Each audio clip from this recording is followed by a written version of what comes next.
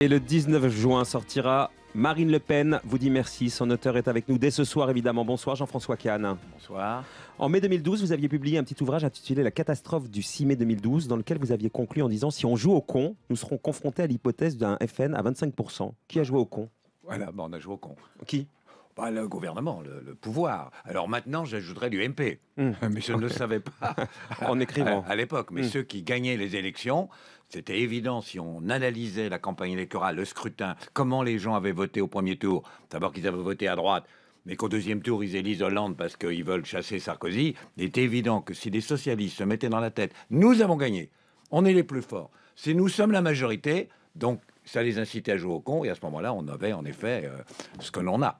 Dans le livre, euh, vous ne mâchez pas vos mots, on vous connaît. Euh, par exemple, personne n'est épargné. Vous dites merci au gourou de secours, Patrick Buisson, merci à Alain Minck, le visiteur du soir qui se trompe tous les matins, merci à l'excellent Finkielkraut, réac de service, mais qui rend service. Tous ces gens, vous les accusez d'avoir fabriqué euh, la réussite de Marine Le Pen? Enfin, c'est pas ceux que, Pas que que- j'accuse le plus, pas- mais il y a, Oui, ceux-là. C'est-à-dire, il y a ceux qui l'ont fait consciemment. Hmm hein.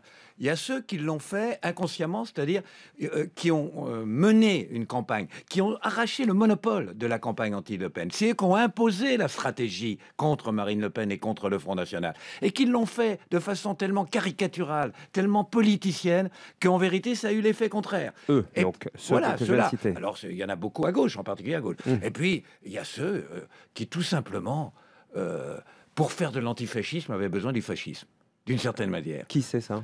Bah, tous les certains euh, qui, ont, qui, a- qui, qui avaient porté des rêves euh, de révolution, euh, de changement du monde, qui ont tout abandonné, qui ne croient plus en rien. Il faut, il faut qu'il leur reste quelque chose pour se battre. Et il reste que plus que ça, l'antifascisme. Mais pour pouvoir donner l'antifascisme, il fallait qu'il y ait un danger, fallait Mhm. que la bête immonde. Donc voilà, ça a joué beaucoup. Vous dénoncez aussi les magouilleurs. Vous dites l'homme de, de Levallois, le trafiquant de Corbeil, celui de Marseille. Oui, Euh, j'ai repiqué, je vais vous dire. je- dans, dans le livre, je, je- je commençais comme ça. Un, un Front National en euh, arrive premier à 25%. Mais j'avais quand même prévu de repiquer. Mhm. Parce qu'on ne sait jamais. Ouais. Ben, du coup, j'ai repiqué euh, en faisant allusion à cette affaire Pygmalion. C'est- ajouté à tout ça, vous imaginez. Attendez, heureusement que, la- que, que- que les révélations de l'avocat, heureusement que c'est aujourd'hui que ça tombe. Vous imaginez Au- Autrement, on sera à 30 pour le Front National, c'est ça que vous Oh, voulez J'en sais rien, mais si ça continue comme ça, c'est terrible. J'ai lu, écoutez, aujourd'hui, il y a une tribune libre, je ne sais pas si c'est dans le Monde ou dans le site du Monde, Mhm. Internet, Mhm. de Bernard-Henri Lévy. Je vous jure, c'est effarant.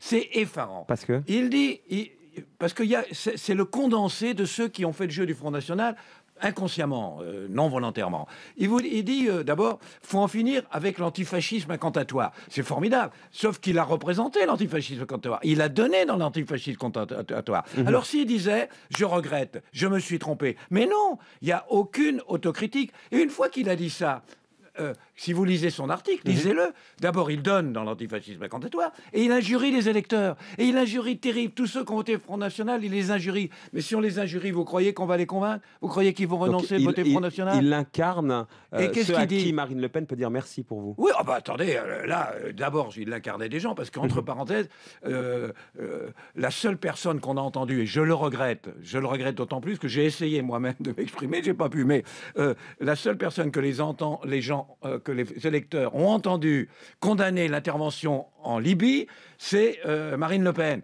Et quand ils voient la catastrophe, Mhm. euh, évidemment, ça, ça a joué euh, à sa faveur. J'ajoute un élément, c'est que dans cet article-là, BHL, il dit maintenant, il faut faire l'union nationale.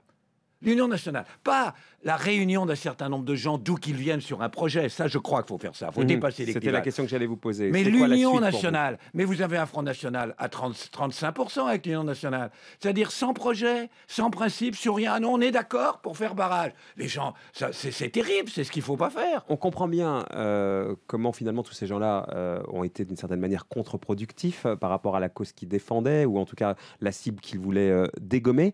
Marine Le Pen, en tant que telle, est-ce que euh, malgré tout vous la mettez dans le même sac que le père ou alors elle est différente et aussi euh, euh, il y a 25% des gens qui votent pour le Front National, c'est parce que Marine Le Pen, c'est pas Jean-Marie Le Pen et qu'elle est beaucoup plus fréquentable. hein. Oui, mais c'est pas ça. C'est pas du tout Jean-Marie Le Pen, mais pas parce qu'elle est plus fréquentable. C'est Mhm. pas ça le problème. Mhm. Le problème, c'est qu'elle a compris quelque chose. Aujourd'hui, il y a que traverse la société française deux rejets, deux rejets très forts. Il suffit de se promener, vous le savez très bien, il suffit de parler avec les gens, deux rejets très forts.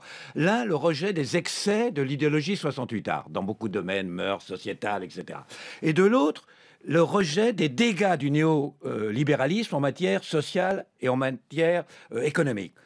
Et tout à coup, elle a compris qu'il fallait surfer sur les deux.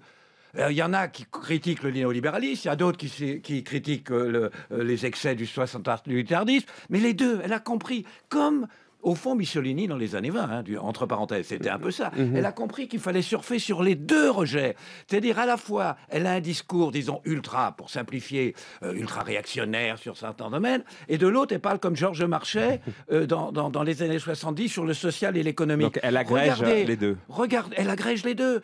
Or, le, le, le, père, c'est pas du tout ça. C'est un ultralibéral, euh, intégriste, etc. Et regardez le résultat du vote. Excusez-moi, à Neuilly, le Front National a fait très peu.